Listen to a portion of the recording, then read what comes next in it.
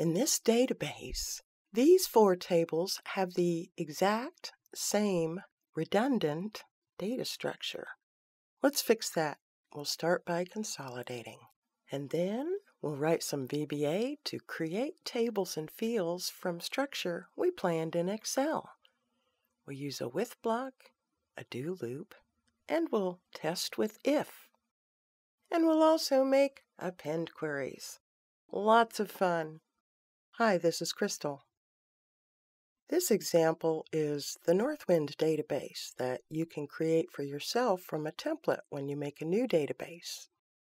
How to do this is covered in my Northwind Relationships video. We'll make a new database, but a blank one. I like to set a couple options. Autocorrect off, display is overlapping windows. Autocorrect off takes a few steps so it sticks. We can link to the tables in the Northwind template.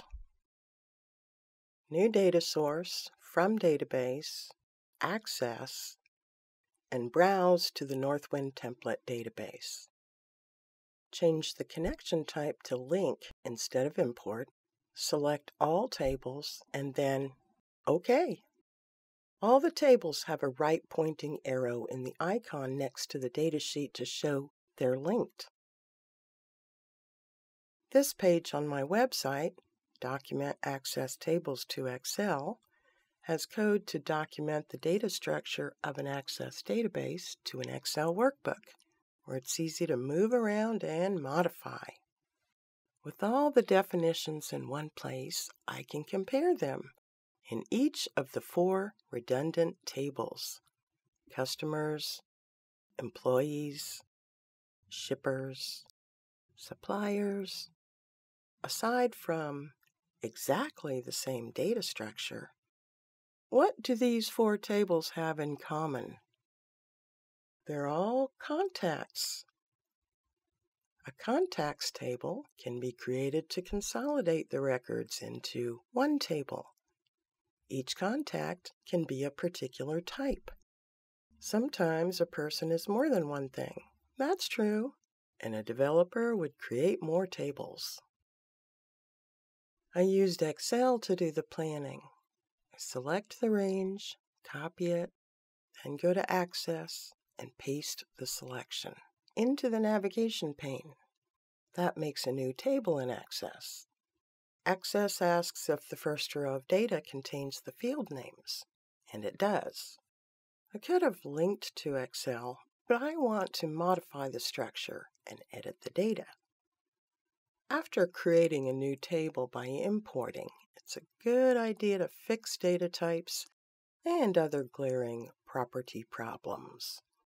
Max size was calculated by my tool and it's a whole number. It's the maximum length of all of the field values. Text fields always come in at 255 with the at sign for the format code indicating it's text which should be removed because it is a text field. The maximum size of a table or field name in Access is 64 characters. That's still, of course, entirely too long, but that will be the limit here as well.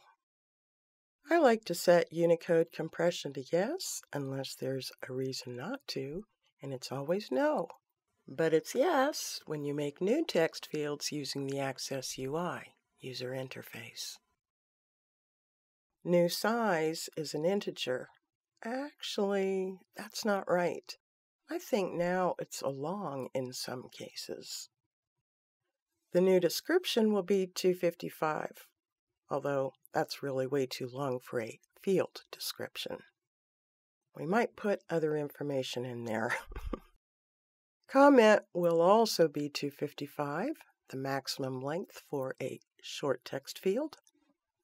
Data may be lost, but nothing in this table. Save and close.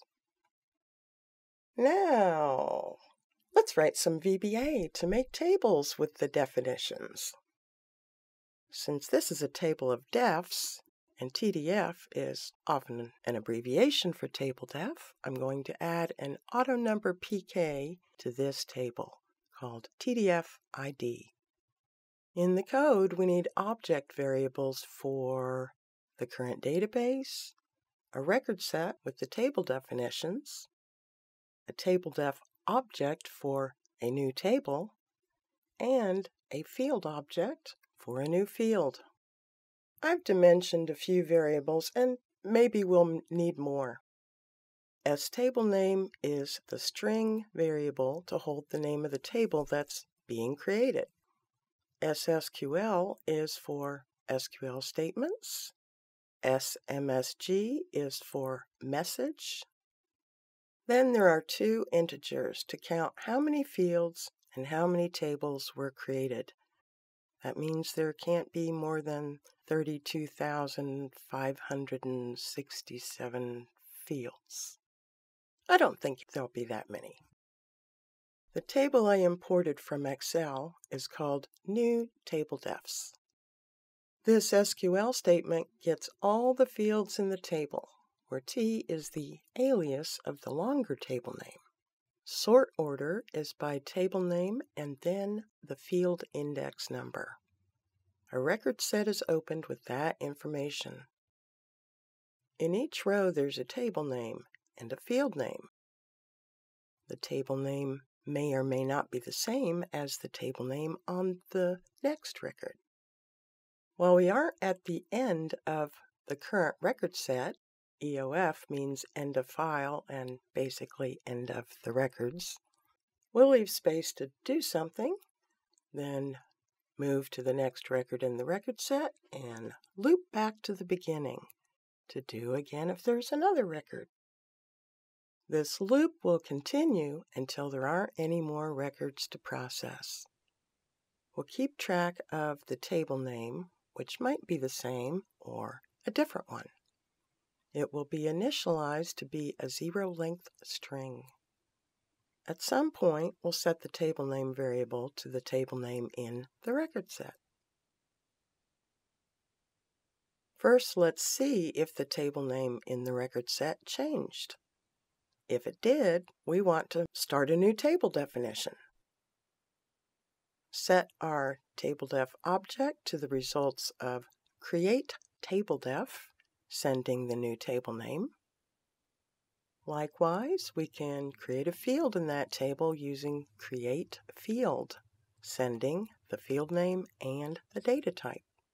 When the field is created, it's stored in an object called OFLD, or OField. If the field is short text, its type is 10. Then we can also specify the size. Lots of references are made to the record set we're looping through. And each time we reference something from the record set, it starts with RS. By putting with RS above and end with below, we can take RS out of all the references. And that also gives the code better performance. Search for RS bang, replace with bang in the selected text. Now the code takes less horizontal space and is easier to read. After the field object is created, it has to be appended to the table. End the F to test for a new table name. Each record will always have a new field to create. Decrease the indent for these lines since they're not now in the new if table block. This isn't the place to put setting the description where it will stick, but we'll do it here for now. That's kind of the general skeleton. Now we'll go and adjust this block of code. At the top of the loop, if we aren't on the first table, then we'll need to append the one getting defined to the table defs collection before we create another new table def. increment the iCount field and iCount table variables in the code when new fields and new tables are created. They should initialize to zero automatically. This makes it clear. After the loop is done, the last table will have to be appended. Refresh the table defs collection and refresh database windows so the new tables show in the navigation pane. Do events makes it do it now. I don't know if that's necessary. I like to write the error handler lines at the top where I can see the procedure name, which I just copied to the clipboard, and the object variables. If there's an error, execution will go to the statement following the proc error line label. A message box will display with the error description, the error number, and the name of the procedure. Then it will go to the exit code. The exit code releases object variables. Since the record set was opened, it might need to be closed. If we try to close the record set and it's not open, an error will occur. Therefore, the exit code will skip errors by changing the error handling to on error resume next. The last statement in the exit code is to exit the procedure before it accidentally slips into the error handler and gets error zero. now the exit and error handling code get moved to the end. This module only has this procedure. I copy the name, but the module name has to be different, so it will start with mod underscore, and then I'll paste the procedure name. Debug, compile, because option explicit is on, a compiler catches the variables that aren't declared. Ah, and it's wrong. TDF should be OTDF. I used to use TDF, but now I put a little O in front to mean object. Hmm, loop without a do. Is that the right error message? The do loop looks okay. Somewhere I probably forgot an end if. Where is it? Does it go there? No. Ah! so the error was right. Loop without a do. I forgot the word do. Sometimes these error messages really do tell us the error. Compile and save the module. When the procedure is done, the user will get a message with how many fields and tables were created. Debug, compile, save, and run. First problem. The SQL statement specifies all fields from table with an alias of T. So the table needs to say that's its alias. Okay, you don't have to use the word as, but it does make things more clear. I didn't do it here. Now run. Done. Created 22 fields in two tables. Let's go look. The contacts table is just as defined. The code that ran is simple, and we still need to do a few things. The default value for the date time a record was added is some function that gives us current date and time. Now.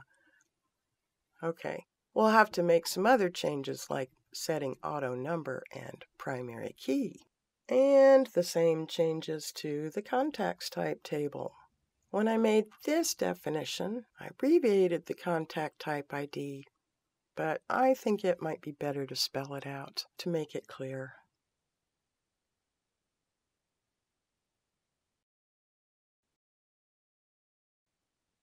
The different contact types are added.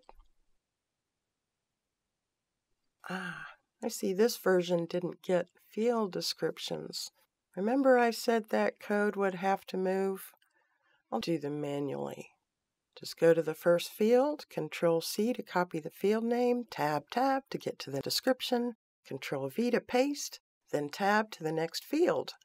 So that's Control C, Tab Tab, Control V, Tab. And you just keep on doing that until you're done with the table. Doesn't take very long. Later we can fix the descriptions. Field descriptions are important because they'll become status bar text when controls using those fields are added to forms. And that's a good way to show the user where you are. Now it's time to append the data. First, we'll get the data from customers, make a new query, add the customers table, put all the fields on the grid, and change the query type to an append query. Oh, we need a place for the original ID so that related data can be hooked up. Okay, so we go back to the contacts definition and make a field called import ID. It's a long integer with no default value. Save and close contacts. Back in the append query, Access doesn't know we just changed that. So we'll pick the contacts table again, and Access will see the new field. The ID field in Customers is put into this new Import ID field. When I first made the list of fields, I left out the contact type ID foreign key. I'll add it now and pick contacts so that Access sees the new field.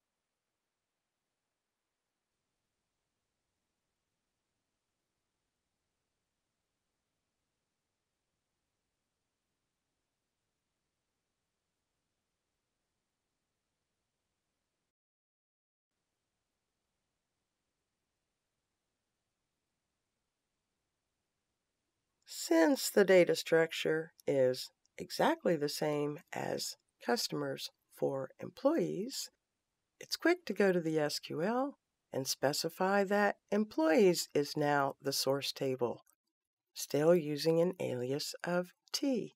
And here's another good reason to use aliases. It's much easier to substitute the table names.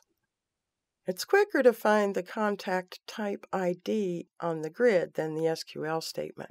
So we'll switch to Design and run it. Oh, and I ran the first one too. And now we do the same thing for shippers and suppliers. Change the source table name in the SQL, change the contact type ID on the grid, and run it.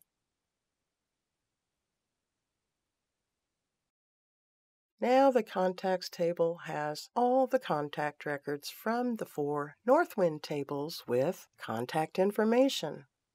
The contact type ID in contacts is a foreign key to primary key of contact type ID in the contact types table. As you build tables, you should also build the relationships.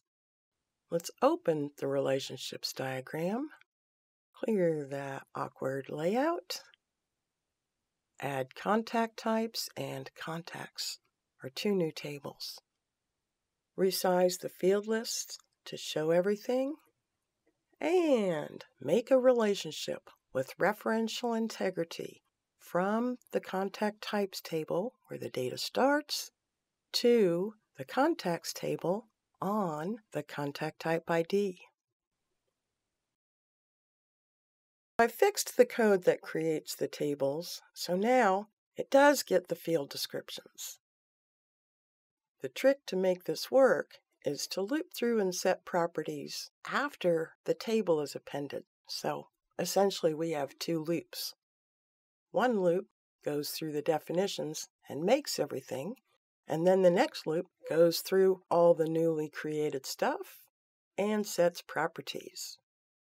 In addition to the field description, Unicode compression is being automatically set to yes if the data type is 10 or 12, which is short text or long text, respectively. There. There it is, two different tables instead of four that are the same. We also covered some VBA, so now you can do more looping and action queries.